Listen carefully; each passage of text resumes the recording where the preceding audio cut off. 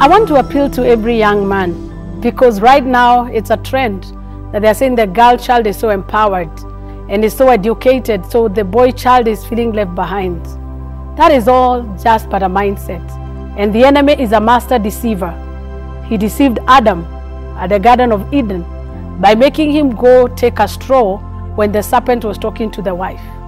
And from that, the curse entered the earth. I want to appeal to every young man. You don't need to prove anything to any girl when you're going to her. Just be you. And I assure you that if you're faithful and you're genuine, God has some people that are left out there that are willing to take genuine people. Because just because girls are misbehaving does not mean that we become drunkards, we become promiscuous, we go looking out for sponsors as well, or maybe we turn into wickedness. It is not necessary. I appeal to you, young men, just like uh, uh, Timothy was told, that you learn how to live in chastity and learn to live for the Lord.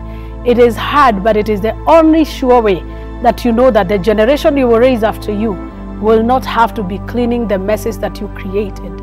God is calling men to arise, like in the time of Joshua and Caleb, to arise and take their positions because the land ahead of us, there's a lot of harvest, it's a land of milk and honey. But where are the strong and valiant men that are disciplined? They were 12 spies.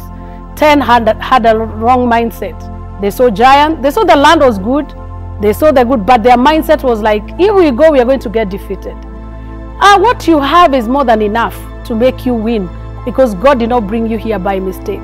I appeal to you, stand by the principles of the Word of God, work hard, and one step at a time. It is only a matter of time and you shall be where God wants you to be. Don't give up. Keep pushing.